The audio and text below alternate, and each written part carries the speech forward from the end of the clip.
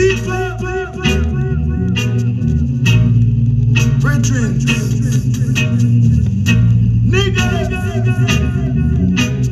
time has now come.